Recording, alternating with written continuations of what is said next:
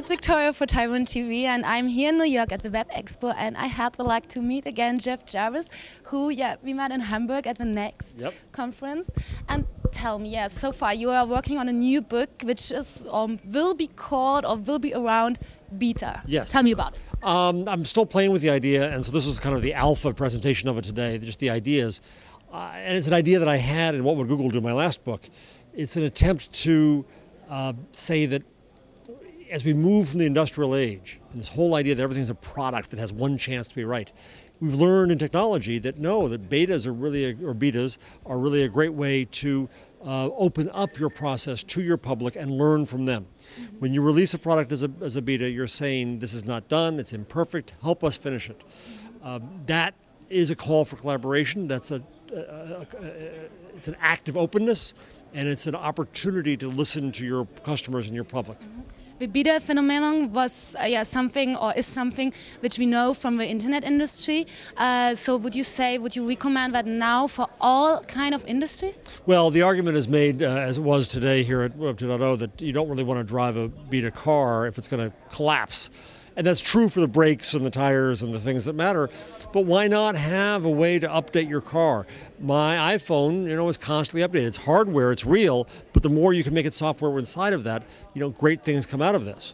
Um, uh, I, I, think most anything can open up its process this way. Mm-hmm. Okay. So, which business models go along with that? Software as a service, which others? Hmm.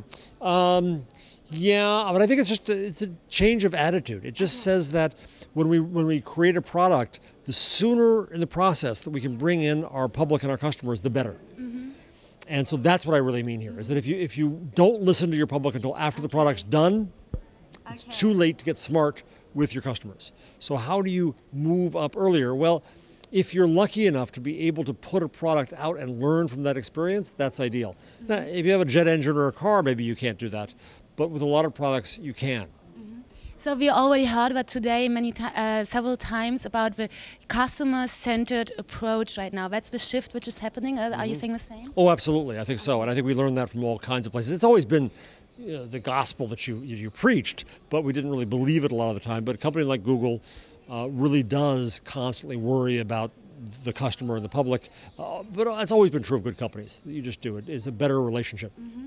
So that means I crowdsource kind of uh, yeah the finishment or the continu continuously development of my product to my customers.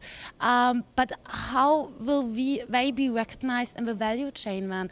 Uh, because I want to have them as paying customers also. But mm -hmm. if mm-hmm. I if I yeah use their feedback, I don't know. You, you know. I think there's all kinds of examples of products where the customers have given input uh, just because they're generous. They give it free, it's free value.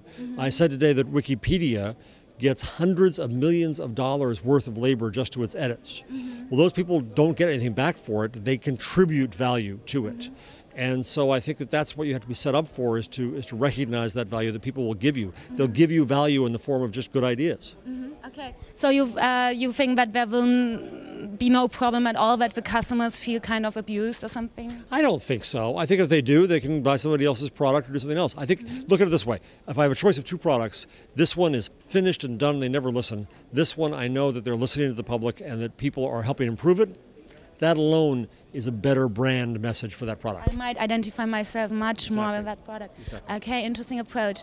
Uh, Tim O'Reilly also, uh, today quoted you with the saying of um, uh, do what you are best in and link, link to, to, the, the rest. rest. so explain me, explain me more about it. Uh, it's really a lesson that I've learned in media and journalism is that we used to have to deliver the whole world to you, but now that's too inefficient. We can't afford to do that anymore.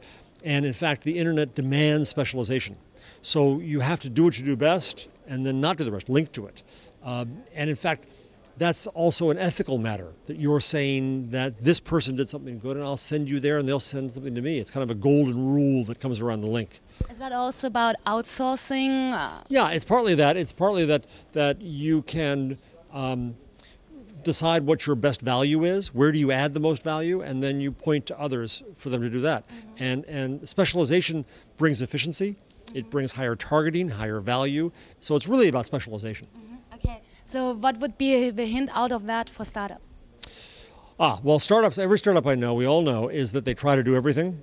And at some point, they've got to pull down and say, this is what I'm going to do really well. This is what others don't do, or, or I can do better than them. And if I try to do 10 things, I'll do each one badly. So they have to specialize in what they do. The other thing about startups, too, uh, startups are, are beta. They are beta. They, that's what they are. And they have to learn what they are as they develop. Uh, any good startup I know started with one vision and then ended up with a different vision. Mm-hmm. And I think that's, that's what matters. So you recommend also for startups uh, not being just beta in their product, but also staying beta in their mindset. Exactly, exactly. Now you still have to release something that's useful to people. You still have to come up with a product that's good, mm-hmm. that you stand behind. You can't stand behind the excuse of oh, it's only a beta. Mm-hmm. Um, so that's all true. But at some point, you always have to learn. You always have to realize it could be better. You always have to admit that it's not perfect. There is no such thing as perfection, and you and you can always make something better by listening. Mm-hmm. As you are a journalist yourself and you're teaching journalism, what is your position related to the topic of paid content? Ah, uh, yes. I, I, I, did a talk at uh, the uh, uh, Medientage in München. Mm. And, oh, you um, had that very troubleful discussion. Yeah, I, I, I caused trouble. Yeah. Uh, I don't think paid content is going to work. Uh, I'm not against it. It's not a religious matter. But uh, there's always more competitors. Um, uh, news itself is a commodity. The information becomes a commodity very quickly. It's very fast. Uh, if you're Reuters or Bloomberg or something like that, you can sell value to a trader who needs you know 10 seconds advantage. But then it just becomes plain old information. And, and the idea that you can put up walls well, part of the problem with the news industry right now is we don't have enough audience. We don't have enough engagement. This is the wrong time to be building walls. It's not going to work. What's happening is old media companies are trying to protect their old models. They're not updating for the new realities. And they're going to die. They're going to kill themselves if they put up walls. And so then startups will come in and replace them. But do you already see some new options arising related to yeah uh, getting revenue streams? I just did a big project uh, that's still underway at City University of New York where I teach in new business models for news. Sorry, there's a bug there. Uh, and uh, what we saw was that news company, there'll be many more companies and there'll be smaller companies, but it'll add up to, we think, a lot of news. Uh, we found hyperlocal bloggers um, in the U.S that are bringing in $100,000, $200,000 advertising revenue a year. We think you can improve that by creating networks and better products and so on. So the point is, it's possible to earn a living as an entrepreneur in news today. Well, if you believe that, because it already exists, then you see a new ecosystem of news. News is no longer controlled by big companies, but by many, many, many little companies. Now, that's disorganized, so there are opportunities there to put together networks and to make that more efficient and, and put together ad networks and, and so on. I think I'm very optimistic about news.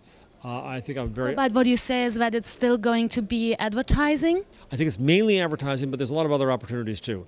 Um, uh, there's the notion of membership we've heard, where, where people contribute money because they want something done. Uh, there's e-commerce, selling products directly to your customers.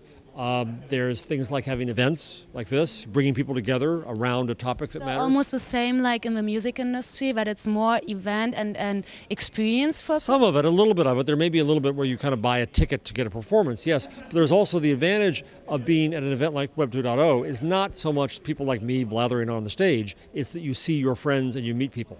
And so sometimes if a newspaper, if, if journalism helps organize a community's knowledge, it also should help organize communities' interactions the internet is not a publishing medium, it's a connection medium. It's a way to make connections. So if we think of ourselves that way, uh, I think we can rethink by bringing together uh, data and events and, and uh, uh teaching, education. There's a lot of other opportunities for journalists, I think. And you are teaching that to your students? Yes. I mean, uh, we're trying to rethink journalism every day. Uh, I teach at the City University of New York, and we try to teach the students to have a new relationship with their public.